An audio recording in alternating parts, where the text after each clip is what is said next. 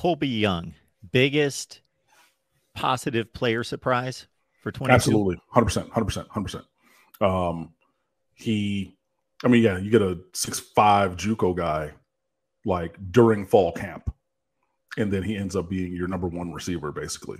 Uh, yeah, that the return on that investment was, you know, I put five dollars into this company that my dorm room friends or my yeah friends on my floor in my dorm are starting uh, and they needed twenty dollars to buy a domain, so I gave them you know five dollars, so I, have twenty percent of the company, and the company ends up being Google. Well, maybe not that, but you know what I mean. Like that's the kind of return. Like I mean, like you really just uh, uh, on a flyer on a lark, and this kid becomes you know the number one receiver on the team. So you know, hopefully he's able to to continue that kind of a thing, and you know, hopefully, and you know, you had other guys who took steps forward as well. I mean, Kamren Kinchens was an All American blue chip recruit.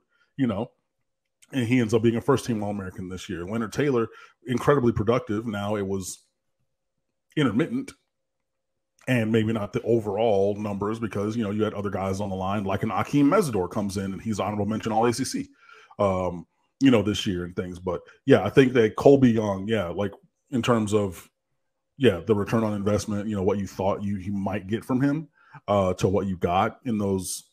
Now eventually they I mean, the passing, the offense was terrible. So, like, yeah, some of his in, uh, impact was mitigated throughout the rest of the season. But yeah, he uh, he was pretty good. So, of course, we always take uh, the comments from the live chat, and we are inviting you to, of course, leave those comments and questions for Cam. But also, we tend to, at times, and this is my responsibility, ignore those uh, comments that came out during the week from a number of people. Now, I, I will, I'm going to take homage um, uh, um, to to one that why why this is uh, hey Mark, uh, and this will be our only diversion from Miami football. How much did Ohio State pay out in NIL? Blah blah blah. And then he goes on to talk about Ryan Day's statement, and then calls me a hypocrite, or maybe he's a I don't know if Ryan Day's the hypocrite. Ryan Day is the hypocrite. Okay, all right, that's that's okay. Because my point was going to be we don't talk about Ohio State football here, unless there's some kind of national topic, of course. But well, uh, we we talk Ohio State on the Ohio State show.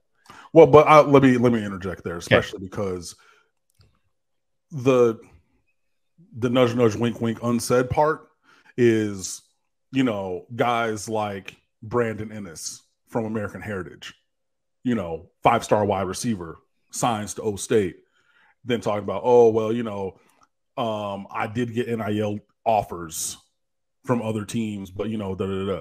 And of course, everybody connects. You know, two plus two equals four. Quick math. and like, oh well, Miami offered him an NIL deal.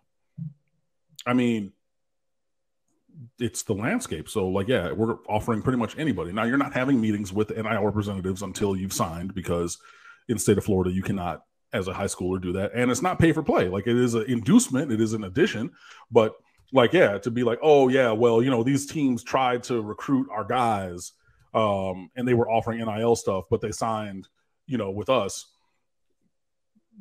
what you're trying to tacitly say is like we didn't do that but like to the point of the commenter it's the landscape of recruiting now if you're not paying nil then you're doing it wrong you know but hey and of course, for the full uh, rundown of any of the recent signees, go to State of the U and check out uh, Cam's recruiting notebook. Is that the correct term? Recruiting notebooks, yes. Yes. One for every single player.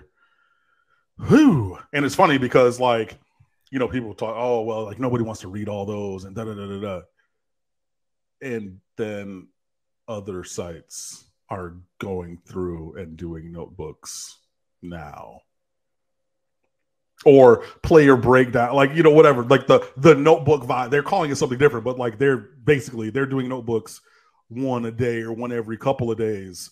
Uh and it's just funny to me, especially when a lot of those guys are like, Yeah, like there's no value in that, and why are you da da da da da da and then hmm Hmm. Cur- interesting, curious, even. But you know, hey, like I said, I stand on my work. I know that we are at the top of what we do and how we do it. Uh, and I mean, there's other websites who do things differently, uh, you know, and, and whatnot. And they no umbrage, you know, or anything taking. No, I'm not going to take anything away from them, but I am also going to stake my claim and talk my shit about what we do and how we do it. So, of course, there's a full profile on Emory Williams there. You're. Yeah. Okay. So I mean, no, yeah, there is. I'm sorry, I, I was uh, drinking the water as you can see. Go ahead. Yeah, you, go know, you know what's going on right now? Now that I've got the other page pulled up to look at comments, I can't even see your responses or facial expressions now because I'm I'm oh, I've got the full little screen on the uh, the Got it, comments got it, here.